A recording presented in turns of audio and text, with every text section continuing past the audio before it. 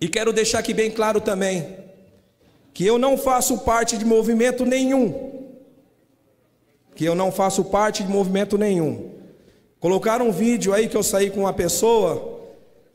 Essa pessoa foi indicada para nós que ia ajudar a gente a divulgar o nosso trabalho para alcançar mais trabalhadores para ficar fácil da gente falar.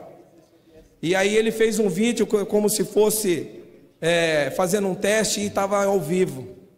Tá? Eu errei por confiar na pessoa, porque a gente é simples, a gente é pai de família, a gente não tem esse, essa malícia. Nós vamos ouvir o último orador, que é o representante da categoria, sou Wallace Costa Laudim, conhecido, pode falar o nome? Chorão, é isso? Vossa Excelência tem quatro minutos na tribuna.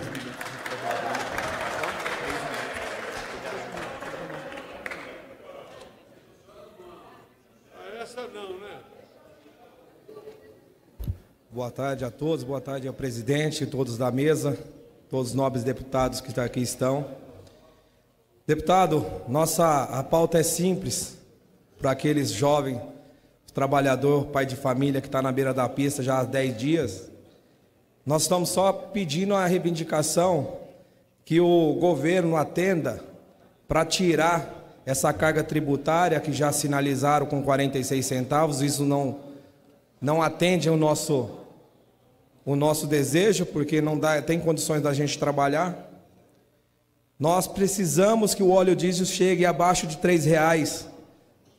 A gasolina chegue no preço da bomba a 3,14. Do jeito que o governo vai fazer, nós não sabemos. É isso o anseio da nossa categoria lá de fora. Fizeram várias reuniões. A primeira eu participei na Casa Civil. Na segunda me tiraram da lista, eu não consegui participar, não sei o motivo.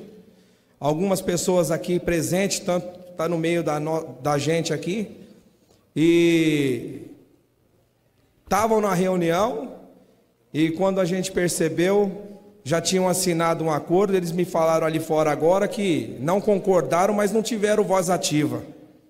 Então, que representante é esse de sindicato, confederação, que está lutando pela classe trabalhadora? Nós aqui, ó, vários representantes de vários estados. Eu só sou um porta-voz da categoria, tá? Então eu quero dizer para vocês que vocês olhem pelo povo brasileiro que está lá fora.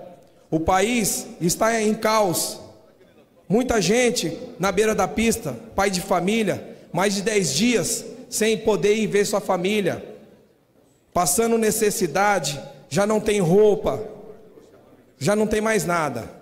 E o presidente, os deputados, os senadores, não entraram num comum acordo, não chegaram num valor, atenda nossas reivindicações, que eu tenho certeza que hoje o pai de família vai para casa trabalhar e seguir sua vida. É só isso que a gente quer. A gente não quer mais nada do que isso.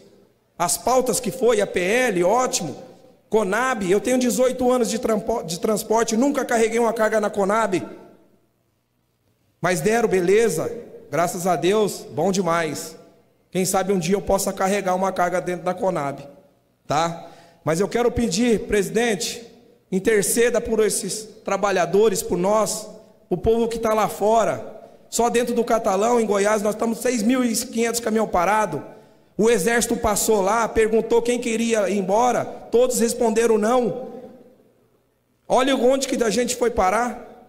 Então eu peço encarecidamente, olhe pela nossa categoria. Nós estamos desesperados. Tire o, o custo da Petrobras, eu não sei como que vai fazer.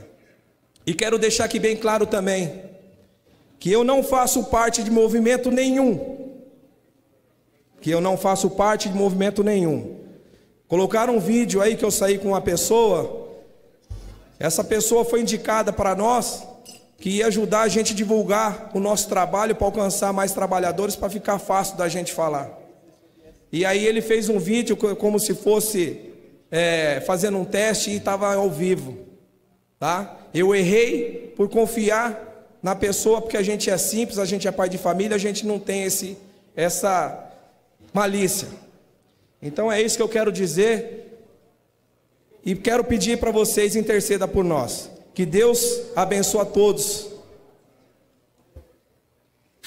Muito obrigado, é, senhor Wallace.